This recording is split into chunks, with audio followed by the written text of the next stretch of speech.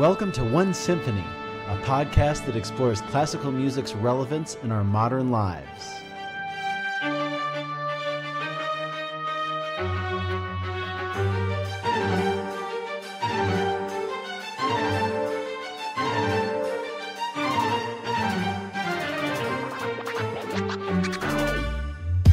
I'm conductor Devin Patrick Hughes, and I'm here to share with you stories and conversations with musicians, composers, and artistic entrepreneurs that aim to unite us into one symphonic world. Marina Arsenijevic is an international award winning pianist and composer, star of the Emmy nominated public television program Marina at West Point Unity Through Diversity, which has been broadcast to more than 170 million viewers on PBS stations all across the country. Marina created the program and performed with the 120 member joint ensemble of the West Point Band and the West Point Cadet Glee Club. The concert was recorded live at West Point's historic Eisenhower Hall and, as of 2020, became one of the longest running single concerts at PBS's TV network. Welcome, Marina, to One Symphony today. I'm really excited to speak with you. You've got an incredible new album, Chopin Obsessions. And I just love to get started by asking you about your inspirations. I've heard it's from Chopin all the way to Freddie Mercury and Paul McCartney and Billy Joel and Elton John. Can you talk a little bit about how that crossover happened? Yes. Hi, Devin, and thank you so much for inviting me to your really beautiful podcast. I've listened to a few of your interviews and they're all so insightful and beautiful topics. So I'm happy to chat with you today.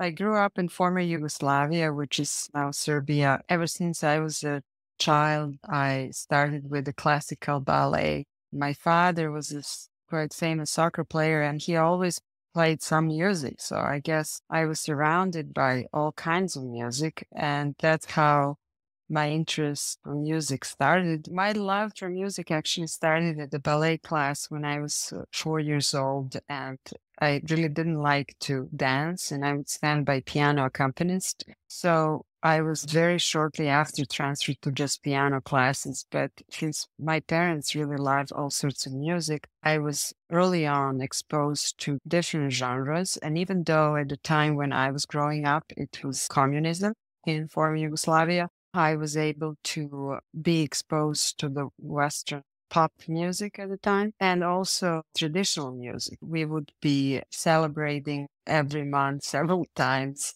some holidays and it would be always traditional music around me played by it's like a Russian balalaika instrument. So it's between Russian and I would say Mediterranean Greek sound. So as a child, that certainly has a big influence on how you grow up with music. Certainly, I didn't know I would stick with piano forever. That become my life and career. But I would say that really influenced me, helped me to find my voice in the world that was pretty turbulent where I grew up.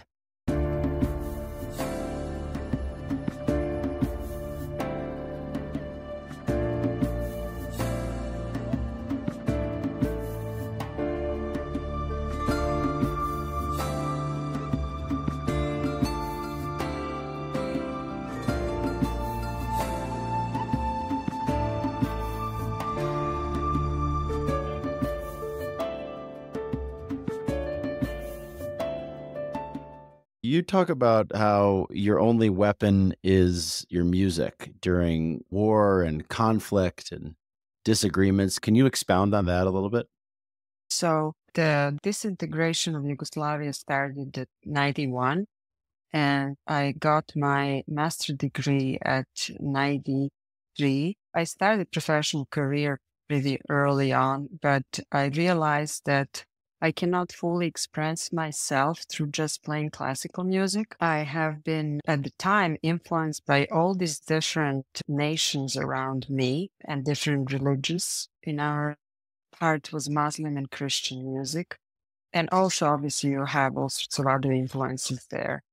I want to show our common humanity through history, culture, through music. So I started to blend diverse melodies and rhythms to unite us. it went through the 90s like that, even though I performed with uh, orchestras, every possible concerto from Tchaikovsky to Chopin, Brahms, and everything. But I always try to involve some type of traditional music into some of my own little miniature piano compositions. When finally my town was bombed in 1999, Belgrade, which was the capital of Yugoslavia, by that time, the country was fall apart and many different countries were created. I was able to play during the bombing, which was three months in our case, different compositions for people to find their own solitude and to find hope. So I have performed everywhere in shopping malls, wherever there would be a place for people to gather that was actually the year when my first album came out for Slovenian. At the time, Slovenia was already a separate country. And I published the album called My Balkan Soul.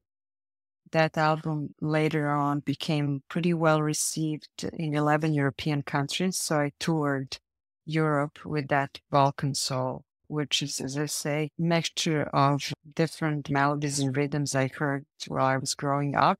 And I would say it, is obviously classical treatment of a composition.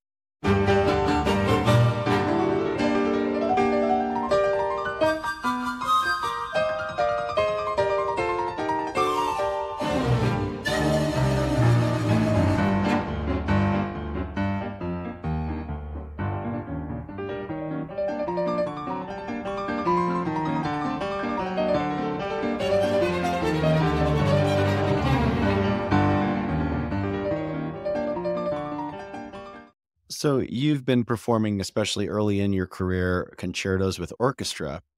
Can yes. you talk about how that evolved into a very well known PBS special, Marina Arsenijevic with West Point chorus and band? That's a very interesting story. It's called actually Marina at West Point, Unity Through Diversity. So when I came to the United States, it was just right after bombing of Serbia. I had to start from really bottom from zero, even though I had performed in Europe and sold albums and stuff. So it took a while for me to find my own way here in the United States. So in 2003, I got the opportunity to perform in Carnegie Hall. It was the first concert I had, and that was really well received, got good critics. And that concert was My Balkan Soul. The second one I had the year later was called Marina in America. It was from Gershwin to Franz Liszt to my own music. At one of those concerts later on, I've met a lady who was the editor of PBS special, and she asked me would I record or film something for them so they can see if the national PBS would accept it. So that time didn't work. And a little later on, I was approached to do a concert at West Point. And one of the, I called them surrogate American parents, he was alumni of West Point, the class of 1948. And uh, at 2007, I believe, he said they would be interested in talking. And I said, I think that I would do unity through diversity since I went through wars and I understand how unity is important for nations to survive and understanding the strength in diversity. And through music, I thought it's the best way to communicate and to understand because music relates to everyone and you can, without words, touch every soul.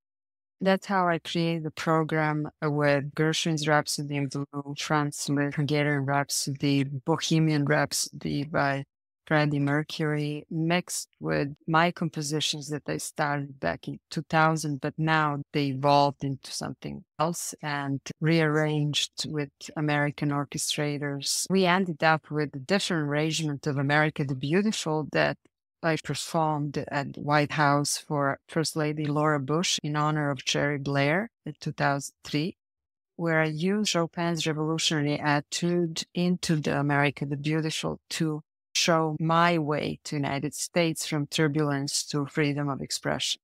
So that's how that show happened. I just had an interview with them, and the conductor at the time, Holtain, said, Oh, I think this is great. Uh, public relations colonel, that was at the time at West Point, thought that promoting diversity was very important for the academy because they had students from 26 different nations. So that's how it started. I really never performed with just band and the full choir without having strings, but they had a fantastic composer, Douglas Richard, who was employed at West Point as a musician, and he took all my compositions and reorchestrated them for band and chorus. So it was 120 people on stage besides me, and it was really something unbelievable. It took nine months of me working with them on the campus. And then PBS, actually two stations together with the American Public Television, they were involved. And the director was the same one that did all the Yanni shows in Acropolis and Taj Mahal. So he understood that grandiose live concert. Also, we had Greene was audio engineer at the time. He was doing all the live Grammys, Oscars, Tony, everything. At the time, he had a hundred microphones. I think today probably you can flash that to much less, but at the time he had hundred microphones because the balance between a piano as a soloist and the full band and the chorus, they have to balance that sound. I cannot overpower trumpets and horns and others. Can you talk about the difference as a piano soloist performing with a band, like you said, and with an orchestra, so minus the strings? It was interesting that I really didn't feel that much difference because Douglas Richard was so good that he was able to transfer strings into woodwinds instruments. You feel, you hear strings, even though there were no strings. They're maybe not as flexible with rhythms, movement. So I had to be very strict in my rhythmical performance. But I really felt that he was able to transfer all the strings into wood instruments.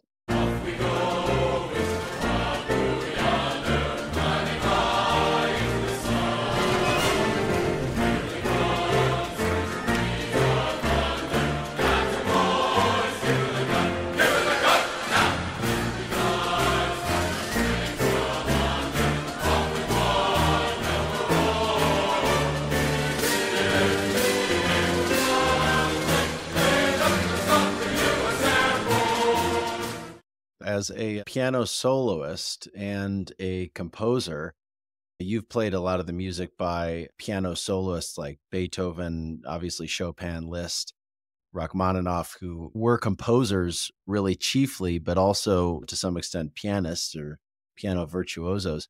Can you talk about when that happened for you to start creating your own melodies as a composer? And do you consider yourself more of a piano soloist than a composer or vice versa? That's interesting question.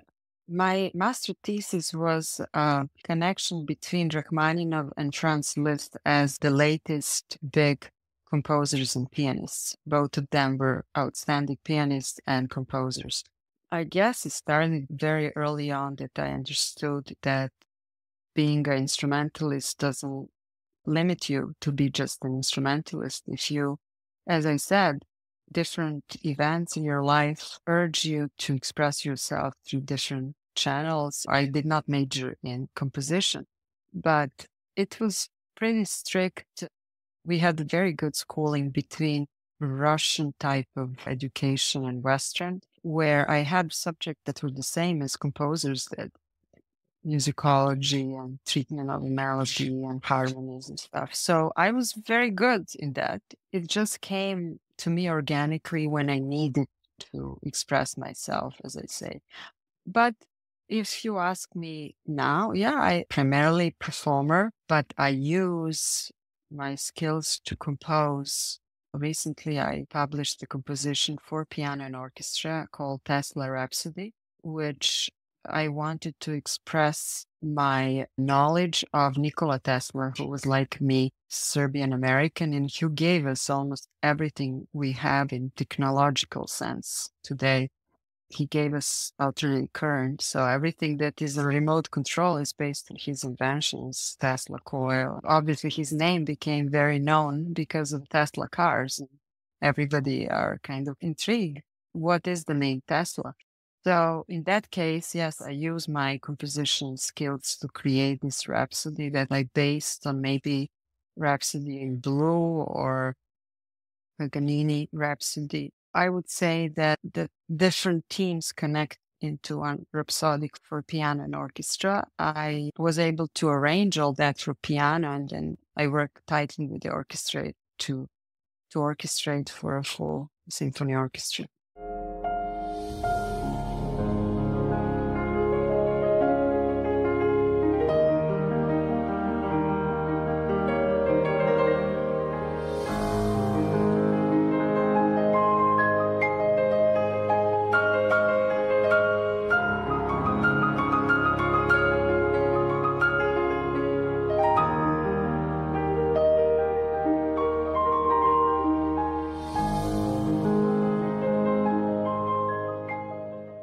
I'd love to ask about Chopin Obsession, your new album.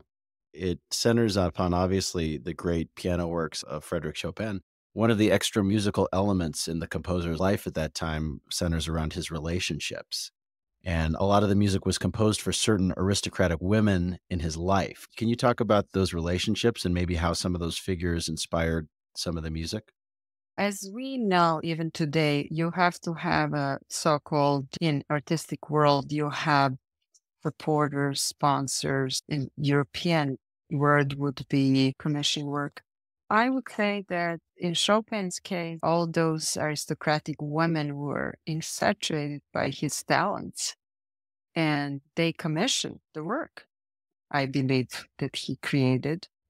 As many of the artists that came from, at the time, Eastern Europe, he came from Poland, and Poland was under Russian aggression at the time. So how timely that is now. we have history repeats itself, not in Poland, but in Ukraine. So many artists came from Eastern Europe, Czechoslovakia at the time. Many from that gilded age became illustrators or as Chopin composer. Recently, I was invited in New York last week to see the premiere of a new musical, Lempicka, and I didn't know what Lempicka was, but Lempicka was actually a painter who came from Czechoslovakia at the same time as Poland came to Paris. They all came to Paris as a cradle of art at the time. And she actually started to paint in Paris. She was able to survive and actually uh, become very famous. Then you have uh, big illustrators from Czech Republic, Alfonso Mucha, in order for Chopin to survive, he had all this relationship with women. I'm not sure about romantic relationships. I think they were older than him, but they commissioned work, and that's how all those waltzes are dedicated to such and such countess or something. They all happened between the years of 1829 and 1847. He died very young at, I believe, 1847.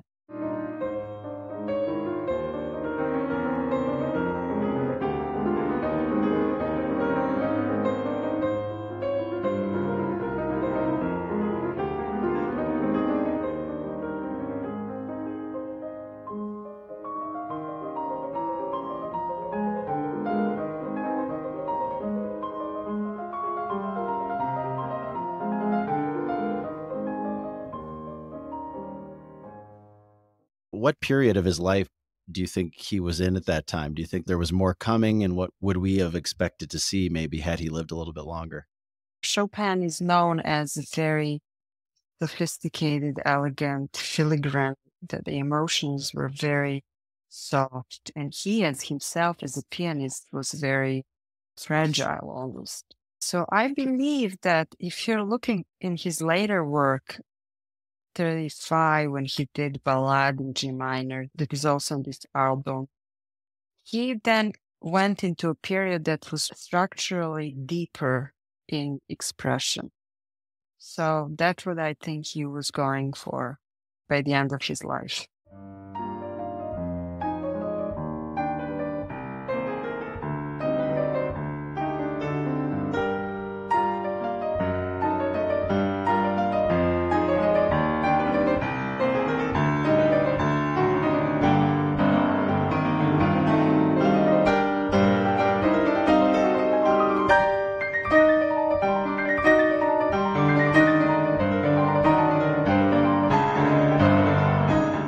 Talk about Chopin's relationship with Beethoven, for instance, as evident in the Fantasy Impromptu?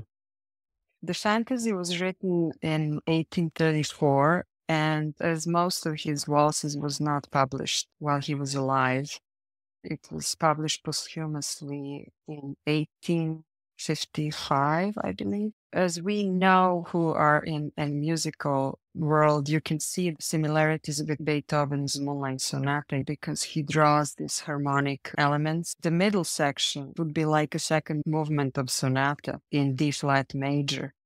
And then the first and third movements are in C sharp minor.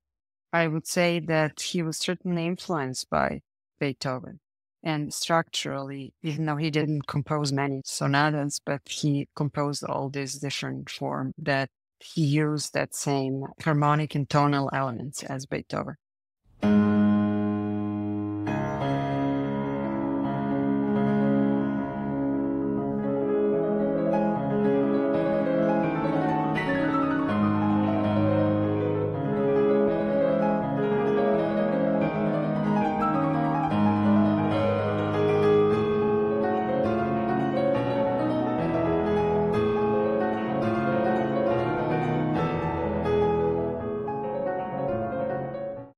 One of the defining features of your work is the connection through the composition of the music that you make between different ethnic or religious groups.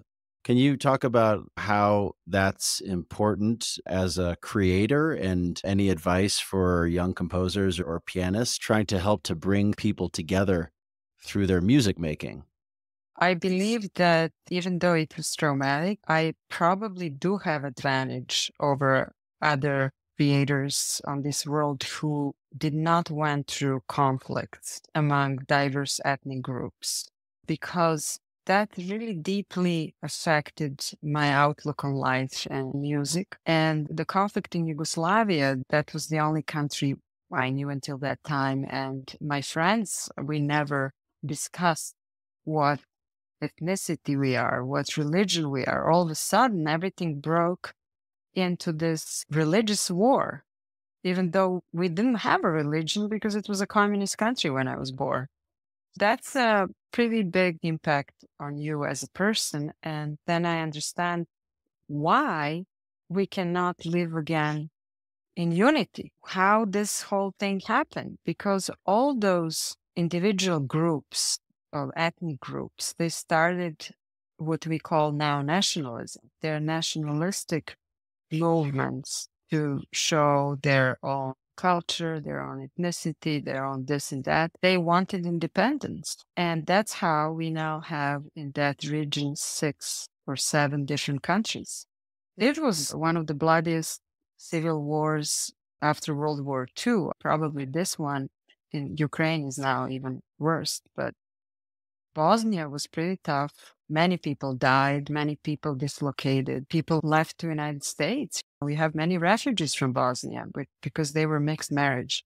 I understood early on to crave for peace and unity in the face of that extreme ethnic or nationalistic extremism. As a result of that, I did created that motto or hallmark, whatever you want to call unity in the face of diversity. As any of these composers living in the romantic era, like Chopin, like Tchaikovsky, Bartok, they all had to leave their homelands and create those pieces because of some sort of aggression somewhere else, mostly in France. And they craved to save their own identity. Chopin used waltzes as a form because when he was a child, he danced on those waltzes there is polka, polka waltz or whatever. They call them waltzerki. And the same thing in Vienna Strauss, famous waltzes. He used traditional melodies in his own Polish background to create these compositions. The same thing with Franz Liszt, Hungarian dances, rhapsodies, and stuff. Those are all traditional musical themes. Rachmaninoff, also Tchaikovsky, Bela Bartok, specifically, it's very Hungarian. So I would say that if you go deep into some of your childhood melodies or ethnic background melodies, you can use them because it's traditional music, not copyrighted. You can involve them in any style you want classical, pop, rock. I was really intrigued by this Jason Derulo. I don't know, is he rap or pop? I don't understand those genres, but Jason Derulo has the song Talk Dirty. And if you hear this middle part of refrain, it's based on ethnic Serbian trumpets. I don't know who rearranged that for him, but it's funny. Somebody used those trumpets. Israeli music used those trumpets. Arabs use. We now have Israeli Arab conflict, but their music, if you listen to traditional music, it's quite similar. Both of them, they have similar music. So, yes, you can combine those sounds and show them their commonality because they lived next to each other. They lived together for centuries, hundreds of years. Of course, there is a lots of similarities in food, in music, in culture general.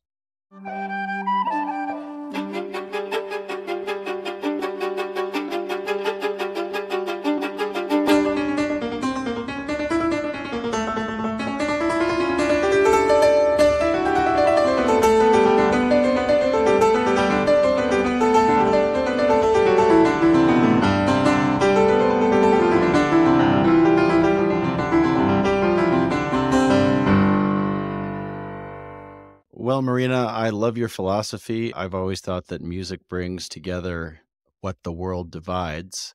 I'm so thankful you made it through these hardships and created beauty out of this to bring so many people and musical styles together.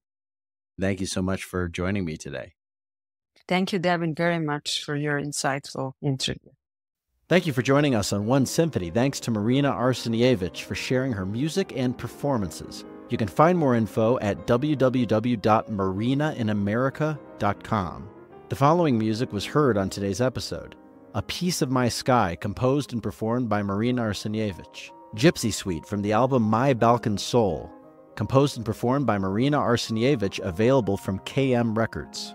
Armed Forces Medley, performed by Marina and the West Point Cadet Glee Club and the West Point Band from the PBS special Marina at West Point Unity Through Diversity. The cadenza and finale from Tesla Rhapsody, composed by Marina, made possible by the Gold Spirit Award from the Tesla Science Foundation.